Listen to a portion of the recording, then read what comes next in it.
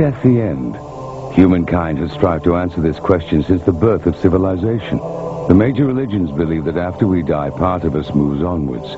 But some believe this journey can be halted, that a spirit or soul can become trapped between this world and the next, remaining with us as ghosts. The people you will see tonight have one thing in common.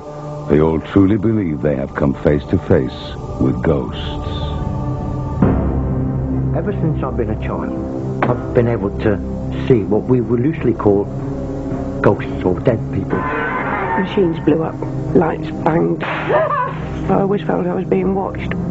I just lifted my head and said, F off. And it went. I was thinking, stupid girl, what's she doing out this time of night? Weather like this, you know, just with a dress on. It's quite hard to believe that a child is seeing something supernatural. I thought, why aren't my parents talking about these people that are here? It was almost as if I was being possessed.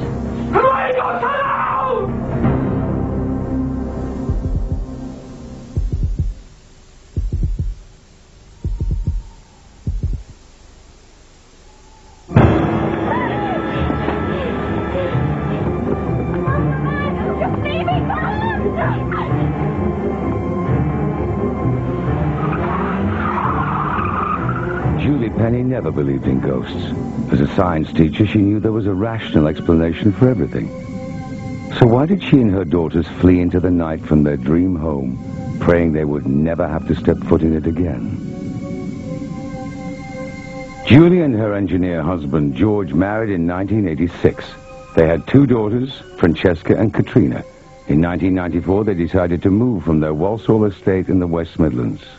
We decided that we'd sell the house and we'd make a new beginning in a rural part of the area. We thought that would be a better way to bring up our children. They found their dream home in a small village near Birmingham. Really just what we'd always wanted. It was the picture postcard cottage. The children loved it, and we just knew it was what we wanted.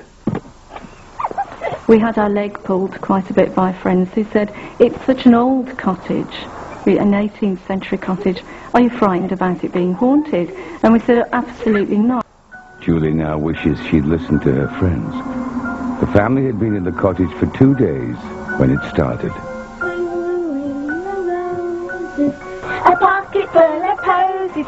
Tissue, a tissue. We all fall down. All fall down. Cat's just pushed me over on the stairs. This silly Cheska, she's been out here with me. I was rather annoyed with Francesca because I felt that she was trying to get Katrina into trouble. Now, looking back, I wish I'd listened to her the very first time she said it. I thought it was my sister, but about it, the force was too hard for her to have pushed me downstairs.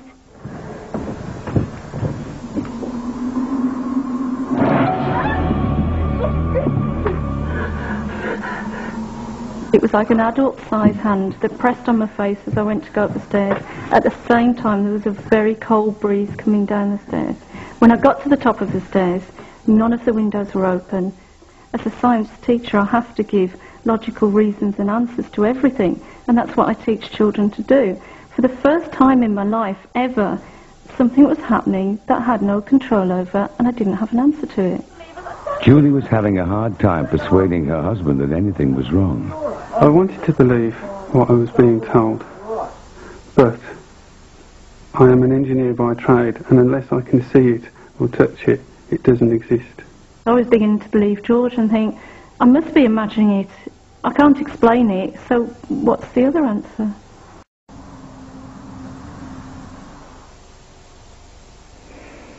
George, what are you doing? It must be freezing out there. Come back to bed, love.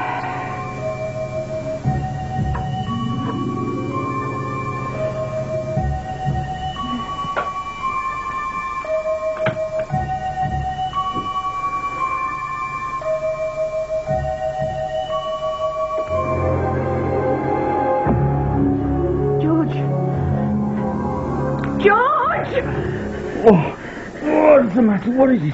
The man! The man! Ah. Do you care that I've got to be working in two hours' time? Mo, there was this man in our room, and then he disappeared. He looked exactly like George. He'd got a really, really strange outfit on. It was cut in a style I'd never seen before. Over the next few months, the strange events got worse. There were terrible smells and unexplainable electrical problems. Wondering if she might find the answer in the history of the old cottage, Julie visited the local library. The village apparently was a real den of thieves. The stagecoaches were always being held up. There were lots of hideouts for highwaymen. It was really a very rough area. We found out that our cottage was linked up to the Welsh Harp pub by a series of tunnels. The tunnels were used from there for the highwaymen to escape down and they actually escaped through the trapdoor in our cellar out of our cottage.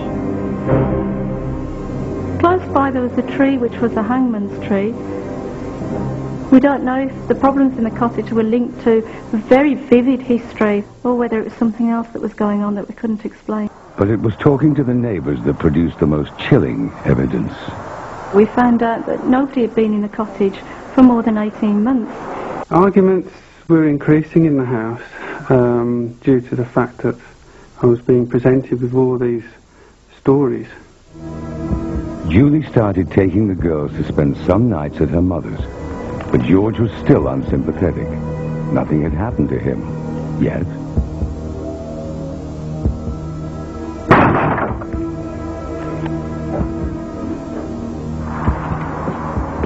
Bang at the door was immense. The whole house shook. I ran to the door immediately and opened it expecting to see somebody or something there. There was nothing there. George was about to experience firsthand what his family had been going through.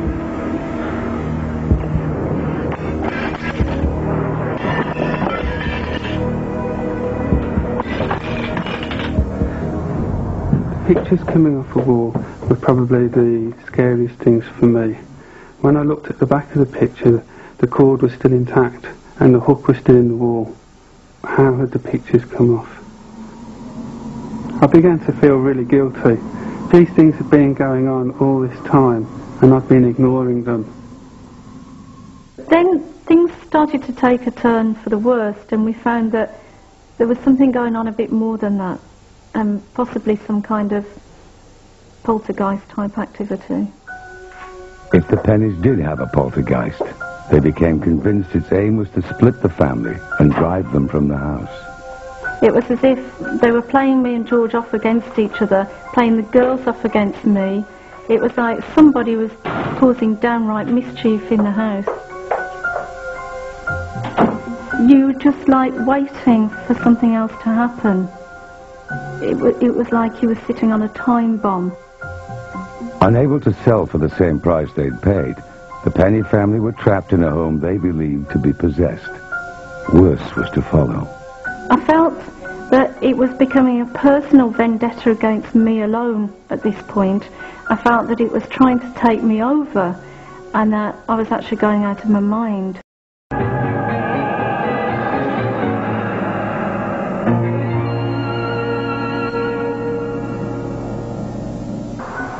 Julie found herself losing control.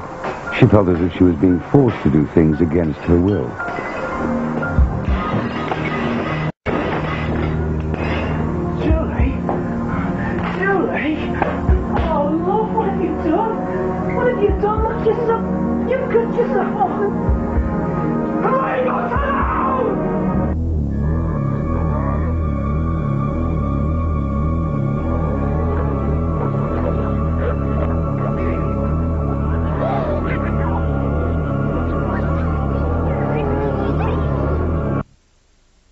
Almost as if I was reliving something that had happened in the past or something was trying to relive a life through me.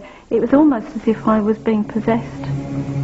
When George worked night shifts, Julie and the girls often slept in the same bed for safety. But nowhere was safe anymore.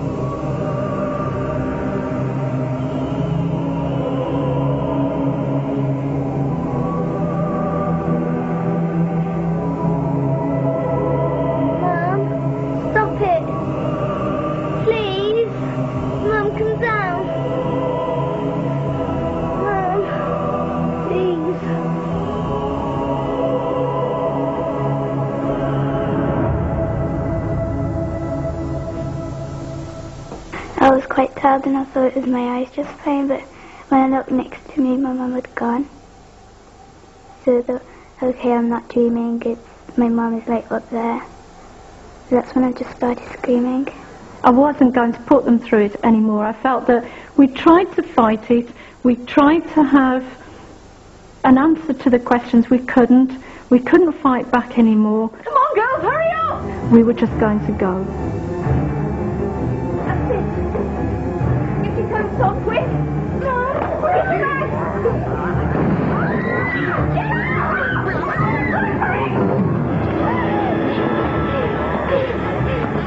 Oh, my bag! Just leave me! Come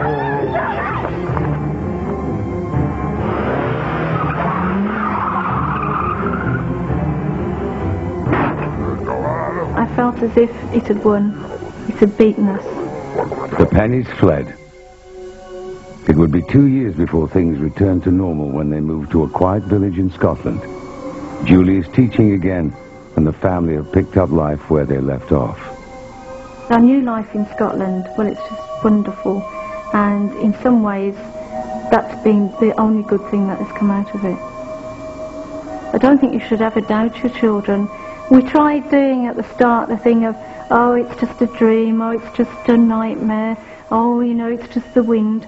I don't think you should do that because you just never know just what's really going on. There have been no further problems reported in the cottage.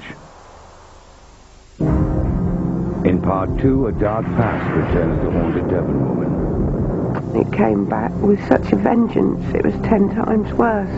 And does a tragic air crash hold the key to a modern day apparition? And I thought, well, if you're going to die like that, you know, are you going to stay around and haunt the place?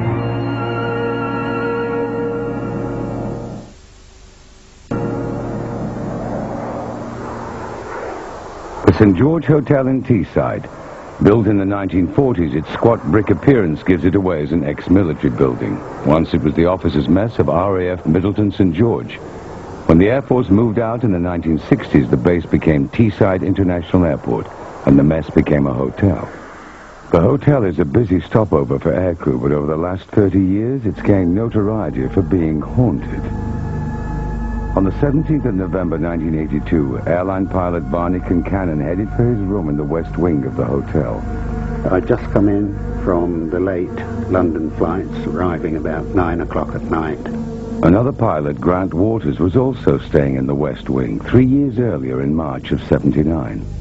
I was sort of uh, working uh, earlies, so we had our normal sort of evening do in the bar. Both men were senior pilots, not given to flights of fancy. I went to bed slightly earlier than uh, the crews who were on mates. I went to bed about 11 o'clock. Uh, it was very cold, and it always was in that area of the uh, hotel. Got into bed, and I'd been in bed about two minutes when I felt this heavy, really heavy pressure on my lower legs. And as if a man or a heavy weight was sitting on them. And I felt the pressure on my legs, and eventually it sort of moved up to my chest. I felt the bed sort of going down with the weight. And I just lifted my head and turned it round and said, F off. And it went. And I said, please go away, because I'm on earlies. And he went just like that. Barney wrote an article about that night for Pilots magazine and discovered he wasn't alone. Interviewed 20, 25 people in working for British Midland who'd had similar or even worse, well, most of the experiences they had were worse than the one I had. Stewardess Heather Raybould stayed regularly at the St. George from 1975 to 1995. She claims to have been visited by the ghost twice. I mean, when I first joined British Men, everybody used to talk about this ghost. It's sort of like the weight of a man, really. Uh, just a heavy weight of somebody pushing you down. I just didn't know what to do. I found I couldn't shout out, I couldn't talk, I couldn't scream.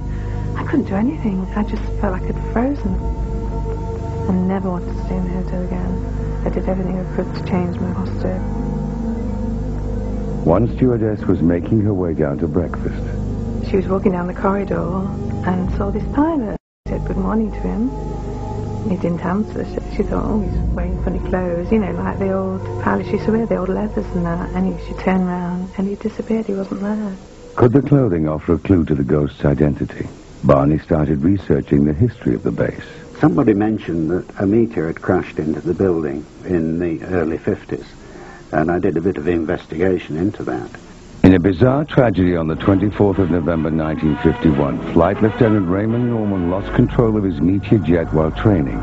He slewed across the car park. Out of 30 cars there, he destroyed just one, a pre-war Humber, his own. Then he smashed into the mess, demolishing just one room, his own, in what is now the West Wing, where all the sightings have taken place. He was still alive. The accident didn't kill him at all. Uh, and as he was getting out, a lump of concrete fell down, struck him. The official cause of death was given as a broken neck. And I thought, well, if you're going to die like that, you know, are you going to stay around and haunt the place? If it is the ghost of Raymond Norman, then he is still around to this day. He was seen in April of this year by a guest on a tour. Uh, the lady woke up in the middle of the night, uh, saw what she thought was a husband standing by the window, and turned over to find that he was actually in bed with her. We like our ghost. He doesn't interfere with us, uh, and we take, we take him as quite friendly. Unfortunately, he doesn't like flight crew, and in particular flight deck, and they're the ones that cause that he has the most problem with. Some of the cabin crew, um, if they're asked to stay in the hotel, they used to go sick. I probably shouldn't be saying that, but, uh, but they did. Uh, whatever you think about this, uh, I mean, this has happened to 20, 25 people, to my knowledge. So there's got to be something to it.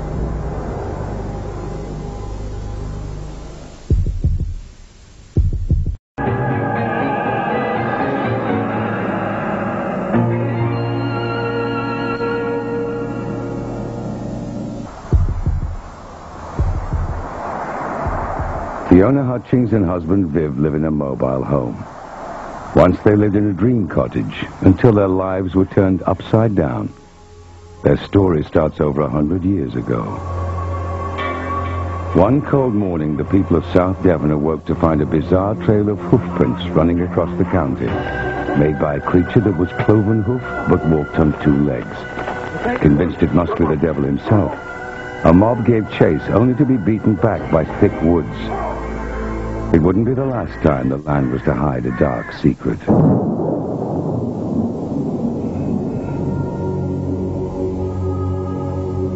Since then, rumors have abounded of strange goings-on in the woods and moors of the area. Tales of witchcraft, of devil worship, of black magic and human sacrifices.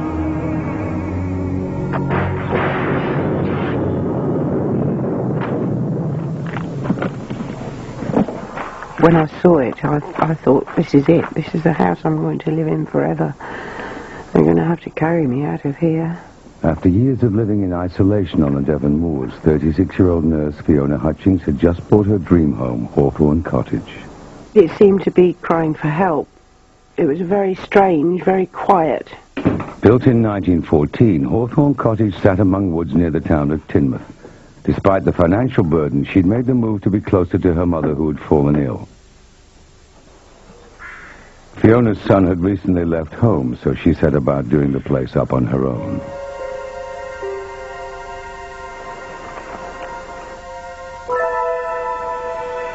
From the start, she felt there was something strange about the atmosphere.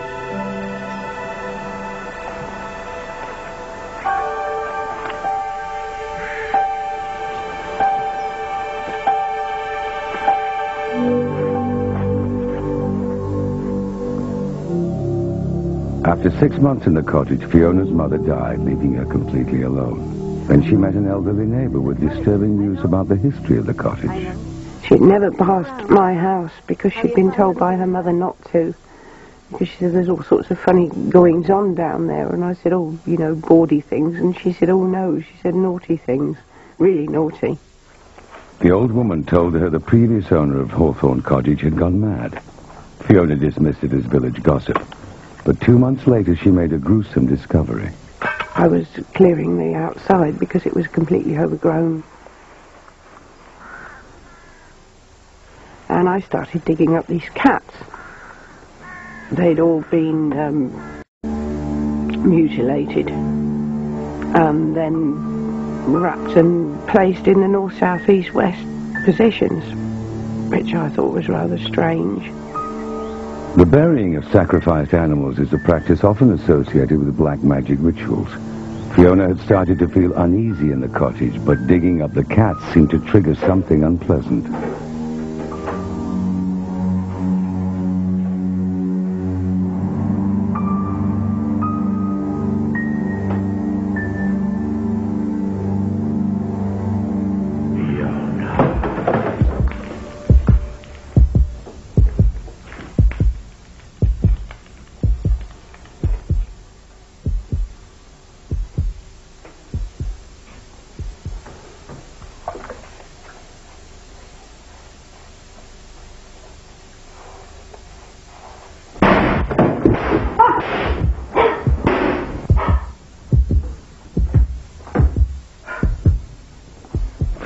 Felt like Hawthorne Cottage was turning against her.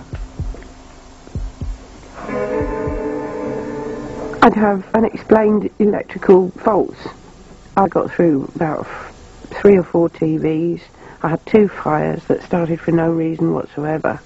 Washing machine that wouldn't turn off. Microwave that blew up. Uh, five or six kettles. Fiona's sanity was being pushed to the limit.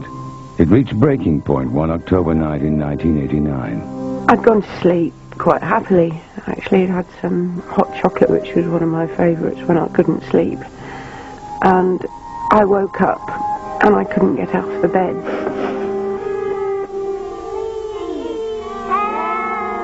I thought, how did these children get in here and what are they doing in the middle of the night?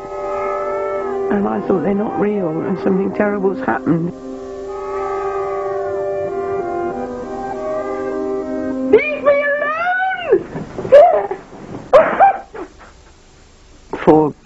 Six or seven months, night after night, I didn't sleep at all.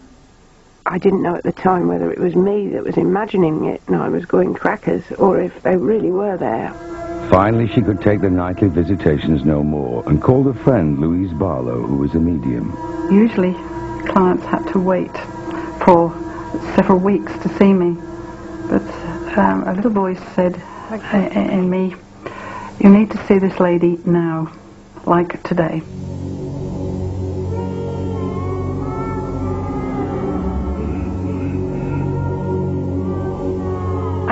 That there had been black magic rituals, or rituals of some sort, uh, where you get a group of people together uh, and they do, as they feel, wonderful things, but in fact it's awful.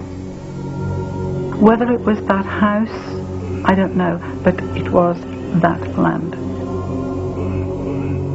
Louise felt that if Hawthorne Cottage was being haunted by events that happened on the land before it was built, then it was essential to fight back. She called in a qualified exorcist with the Liberal Catholic Church in nearby Exeter. The priest who still practices today has confirmed the events. Omnis Spiritus Immundi. He said the children had been sacrificed and he said it was a sort of ritual that I wouldn't wish to know about. Domine Jesu Christi. Every time he put holy water down, it was like when you throw water on a bonfire. The ashen blackness and the smell was appalling. Little by little, the smoke disappeared.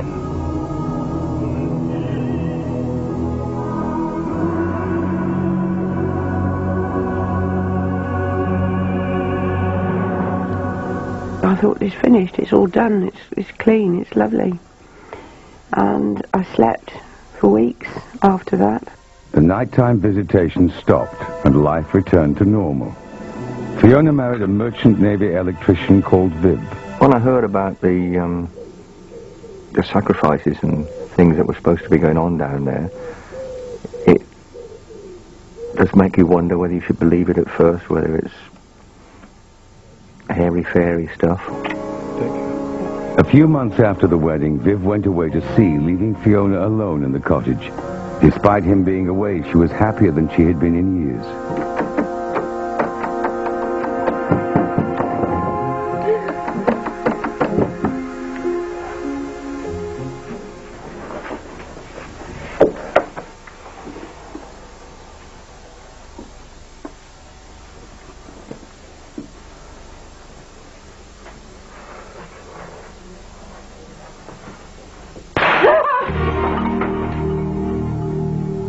The exorcism may have got rid of the children, but Fiona now believed there was something else in the cottage.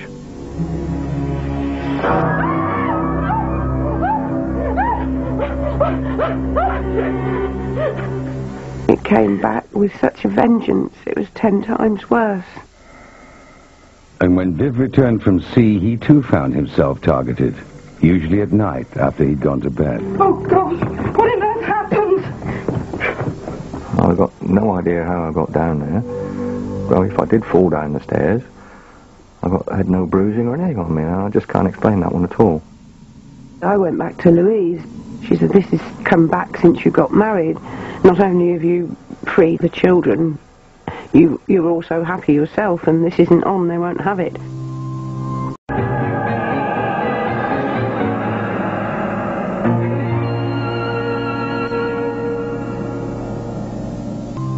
After more than a year of being terrorized, the couple were at their wits' end. They had heard rumors of an elusive local man by the name of John Parker. Ever since I've been a child, I've been able to see what we would loosely call ghosts or dead people. I don't look at myself as a medium. I'm just an ordinary bloke on a building site, laying bricks, making a living. But I have been blessed, if you like. What I was picking up from Fiona was pure fear. And I knew that there was very serious trouble in that house. Very serious trouble. At 7 p.m. on June the 6th, 1993, John Parker arrived at Hawthorne Cottage. In 30 years, he claims to have freed hundreds of trapped souls and has never charged a penny for his services. But this was to be his greatest battle. After five years of terrifying, unexplained phenomena at Hawthorne Cottage, Fiona and Viv Hutchings have called in ghost hunter John Parker. He is their last hope after previous attempts at exorcism failed. We'll soon have this sorted out. You must be Viv. Pleasure to meet you. Now sit down, both of you, and I'll explain all. John believes that ghosts are souls stuck between this world and the next. He has to persuade them to move on. It is a battle of mind, of strength, of oh. belief. I have to be able to prove that I am stronger than what he is. I could hear footsteps running up the stairs. There's nobody there, of course. Not from this world. Right, you little buggers. An eye for me.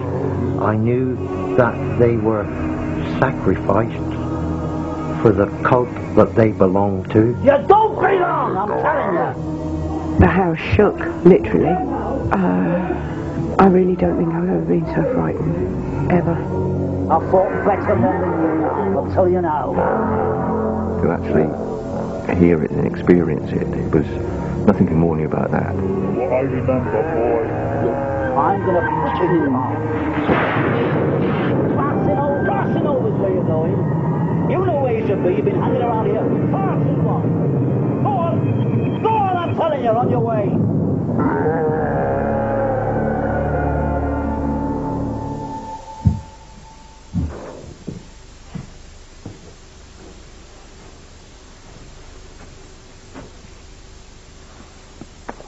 Cup of tea be nice, my dear. It had taken John six long hours, but the hauntings were over. He continues his work today in the southwest, but has experienced nothing like Hawthorne Cottage before or since. This is the worst I'd ever done. Fiona and Viv finally lost the cottage in 1995 to the banks. We now live from day to day. But one thing that I'm not anymore, I'm not frightened of things that I was frightened of because now I've seen it. That's as bad as you can get.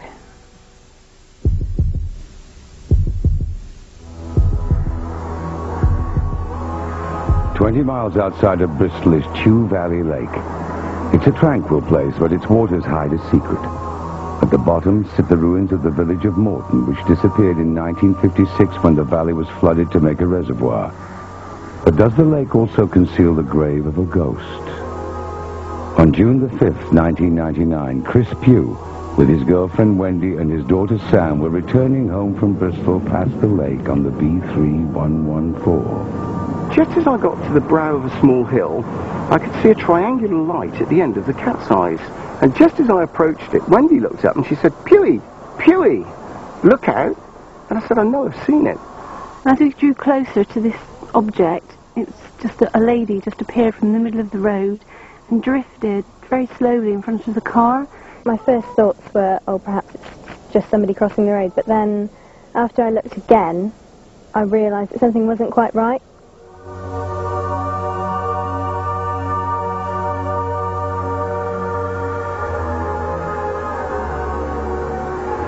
can remember distinctly that she had long, wavy hair that looked sort of greasy or even wet. I was convinced that it wasn't a human being, it was something supernatural. What is it? What could it be? And then the next thing you just think, crikey, that, that is a ghost. You, I just knew it. It wasn't until afterwards when I thought about it, I felt absolutely petrified. I, I didn't really know how, how to feel, how to handle it, I suppose. So I pulled into a small car park into a pub just adjacent to the lake and phoned the police, and that was quite a difficult explanation to give to them. Police searched the area but found nothing. A week later, Chris replied to an ad in the local paper asking for people who had seen strange things at the lake. A meeting at the local historical society was arranged for witnesses of the ghostly girl. There were about 12 people in total, which was amazing because all of them recorded almost the same information when asked a series of questions. Yet there was no collaboration because nobody knew each other before that night. One of those who saw her was Carol Gillen. I was thinking, stupid Carol, what's she doing out this time of night? Weather like this, you know, just with a dress on. Um, that was when I realised then that she was a ghost the hairs on the back of your neck stood out, knees turned to jelly, and held onto the sort of steering wheel, like, like just very slowly watching her go up the lane. I started asking around the local village where I lived if there was anybody that knew of anything about maybe a girl out on the lake road. Um, and then I found a lady that had um, a book, a sort of um, stories about neighbouring villages. I actually came across a passage in the book about a girl called Catherine Brown that lived at Stratford Mill, which now is Chew Valley Lake. And the story goes that she'd actually drowned in the moat, and she was only a young girl. So I just surmise that this is who it could have been. Catherine Brown disappeared one day at the turn of the century. The next morning she was found drowned. She'd been dead at least 24 hours. Yet her mother claimed to have seen her the previous night climbing the stairs soaking wet at a time when she was already dead. The events have left those that saw her wondering if it is Catherine Brown retracing her steps home, a home that now lies deep under the lake. From the dresses that she was wearing, you could see that she was obviously from the turn of the century, quite a while ago, and all the little jig- pieces of the jigsaw started to fall into place. Any evidence of Catherine Brown's mortal remains disappeared when the waters flooded the valley. Somewhere there's got to be a grave and I would love to think that she's here.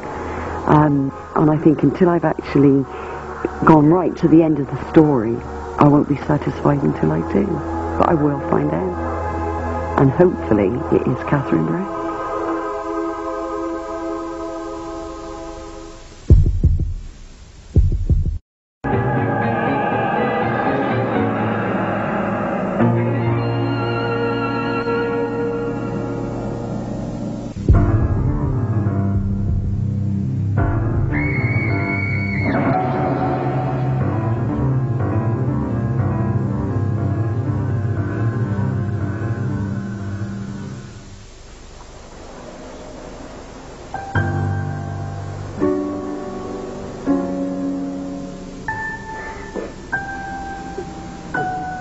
Children often claim to have imaginary friends, make-believe playmates from their imaginations.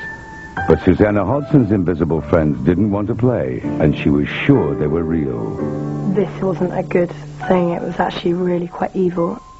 Susanna is now a 20-year-old university student. At the age of two, she moved with her family to a large Sussex manor house. From as early as she can remember, she claims to have seen people that nobody else could. Shortly after we moved there, she became quite disturbed at night. I mean, she'd have me up night after night after night for clearly no apparent reason. I'd always sleep with the light on the landing on. And I just remember waking up in the middle of the night and feeling absolutely terrified. She would talk about a man called George who actually quite frightened her. For the next few years, the young Susanna continually claimed to see the man called George and a woman called Abby. Most children forget their imaginary friends by the time they start school. Come on, Zana. Time for breakfast. But not Susanna. Before he disappears. George and Abby kept me awake again all night. Oh, you and your little friends. Do we should forget about them? Come on. It's quite hard to believe that a child of that age is seeing something supernatural. It's not something you think about. So you tend to assume that these are imaginary friends, perhaps, that she has. When I spoke about Abby and George, there was no um, recognition there. Oh, yeah, yeah, there was nothing. And that was quite confusing to me. Whoa! It was so real to me. Bye bye, darling. You're going to be Daddy's good little girl. George says that I'm a bad girl. Yes, well, George isn't real, so we can forget about what he says, hmm? You're getting a little bit old for these play friends. I was at that stage finance director of one of the top 100 companies. I was bringing a lot of work home. Had a lot of problems, business problems, and last thing I wanted was a domestic problem too. But the problem wasn't about to go away. Susanna became more obsessed with George and Abby. I had some very strange situations with her where she wasn't herself, in that she would come out with strange remarks. Mummy, it's Abby. Darling, this game's getting very boring. But she's right there. Make her go away. Look, there isn't anyone to make go away. You're just pathetic. I hate you, I hate you, I hate you. Susanna? I wanted Mummy to see her. The Abby I'd been talking about, and she didn't really know who she was. And that's quite disturbing for a mother. You just instinctively know that that's not your child talking. Then everything changed. Diana was to have an experience that finally convinced her that her daughter was telling the truth. Well, I do hope you've calmed down now, young lady. Zana? I would hear footsteps running and assumed that it was her. Susanna?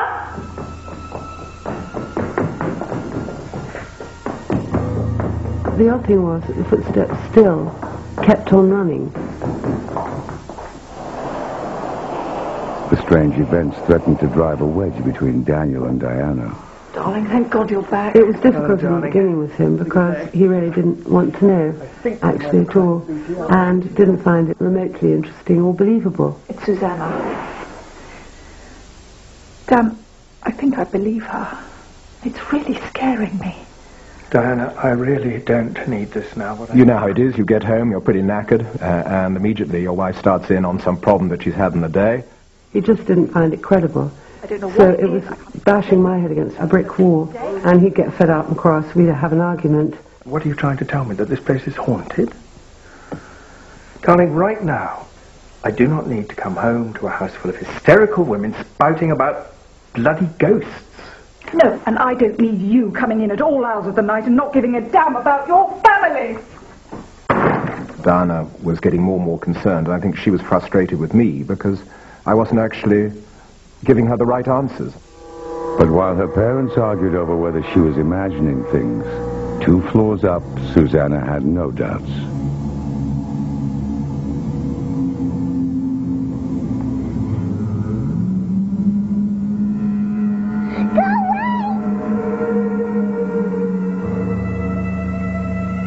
They weren't trying to befriend me. They were just these entities that were in my life. They were just there. George had sort of shaggy brown hair and dark, exhausted looking face, sort of pasty, not a nice face at all. And Abby, she had bags under her eyes and she had straggly black hair. I was so frightened and just curling up on the landing and just sleeping there all night long. I couldn't even go down the stairs. There was a short staircase to my parents' room. Diana was now firmly fighting in her daughter's corner.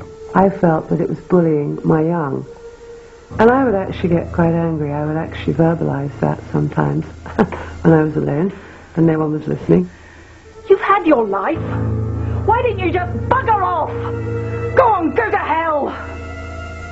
You feel somewhat impotent because you don't really know quite what to do or understand how the whole situation is working.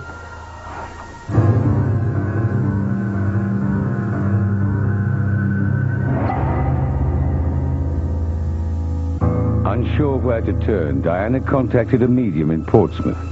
She sent him something personal of Susanna's but gave him no details about what had happened. The response astounded her.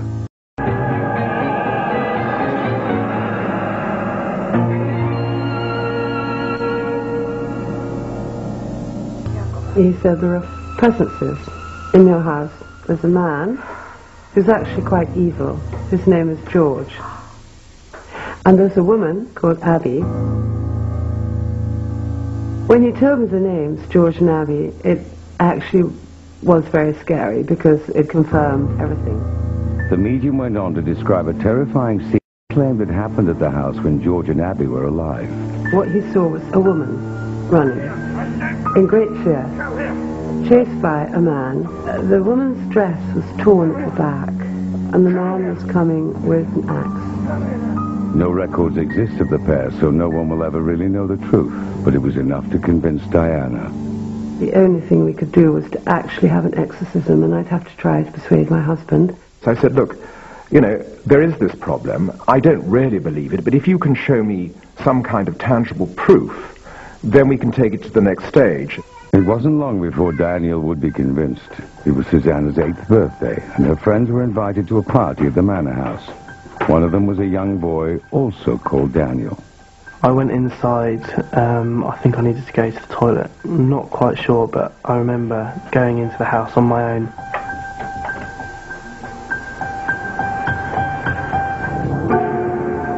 An old lady dressed in black. She was very authoritative. She did not want me to go past her. I just felt very uneasy, very scared. Mommy, I just wanted to get out, get out as soon as possible. When we found uh, this little boy, Daniel, he was screaming his head off. He was standing there by himself, and he was clearly very scared. now I'm older, when I look back on it, it all seems very, very strange. I am convinced, though, that I saw a ghost. It was what Diana had been looking for. Someone other than Susanna seeing a ghost in the house. I began to realize we really did have something very difficult on our hands. And I certainly, I think anyone who has any belief in the metaphysical and any belief in an almighty uh, recognizes that there are things out there that you can't put your finger on. And I began to realize that this fell into that category, and we had to do something about it. The Hodsons called in the church, who eventually sent a minister to exorcise the house. One very bright July day, but surreal it was, um, I came back from work um, at lunchtime, and uh, the children were dispatched with the mother's help, and Diana and I and, and this exorcist uh, went through the process. He didn't look like Max von Sydow. Um, it wasn't quite as dramatic as that, but it was very interesting. At the exact moment the exorcism ended, unprompted, Susanna said something remarkable. George and Abby have gone to heaven.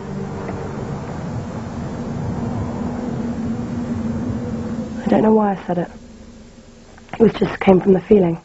And uh, I said, what's your batting average? Um, and he said, well, about 90%. I would definitely say that if we hadn't remained close as a family, that that entity, whatever it was, could have really done some damage. Susanna never saw George and Abby again. Perhaps they had only ever been a figment of young imaginations. It all worked so simply, and, it, and the, the exorcisms have unlocked everything and sent it away, that maybe it was psychosomatic after all. But the story was not over yet. Two years later, the Hodsons moved to a new home. Soon after arriving, they invited their next-door neighbor, Marnie Jones, around for tea. No, you'd love it here. The village is beautiful, and don't worry about the locals. Well, I hope so. It's a wonderful place. It feels so at peace. Why? Wasn't your last place? Well, we had some problems at our last house. Where was it? We lived in West Broughton. West Broughton. God. I used to live there. That's amazing. Well, we lived in the manor house. You know, by the church.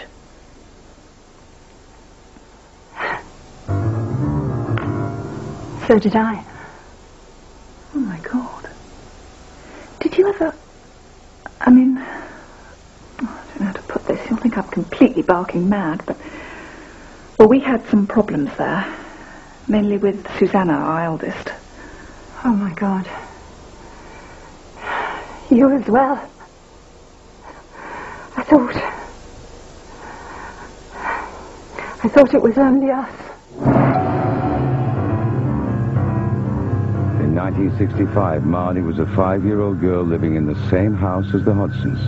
She has nothing but terrifying memories of the place. I was too frightened to go and find anybody to tell them how scared I was. The feeling of being strangled. You could actually feel the fingers coming around your throat.